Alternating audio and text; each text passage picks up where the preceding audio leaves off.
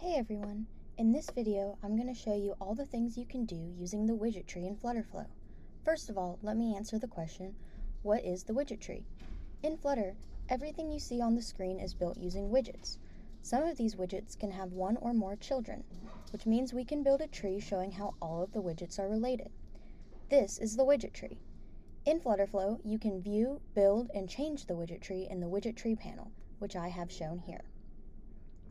You can tell whether a widget can add a child by seeing whether or not it has this Add Widget button.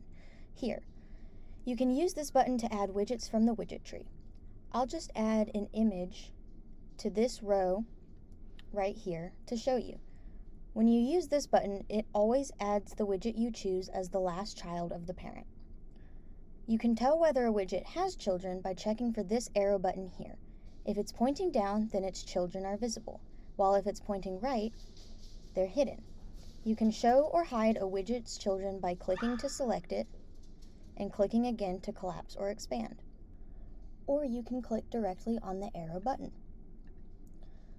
You can see that the widget my mouse hovers over is highlighted orange and corresponds to the widget surrounded by the orange box in the canvas.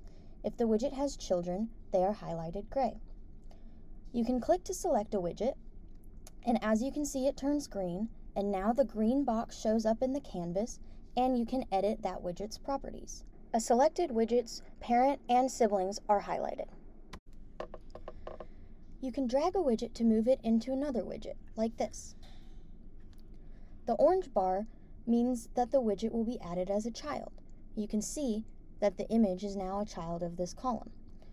You can also change the order of widgets in a parent and the purple bar shows that the dragged widget will be added as a sibling directly underneath the highlighted widget.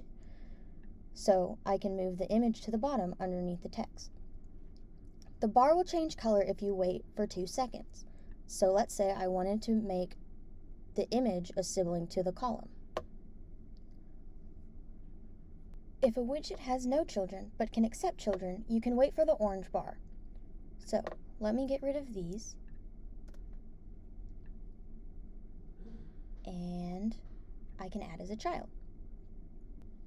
And if you need to scroll to get to the widget you want, you can hold your drag widget above or below the widget tree, like this. You can also drag widgets from the UI Builder into the widget tree if you need more control over where you're dropping it. If you want to condense the widget tree, you can press this Collapse All button to hide all leaf widgets, which are widgets that don't have children and don't have siblings that have children. Or you can show all the widgets in the tree by pressing the Expand All button.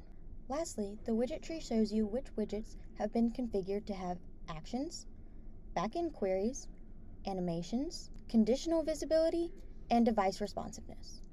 So, that's everything you need to know about the widget tree. I hope you enjoyed this tutorial, and thanks for watching.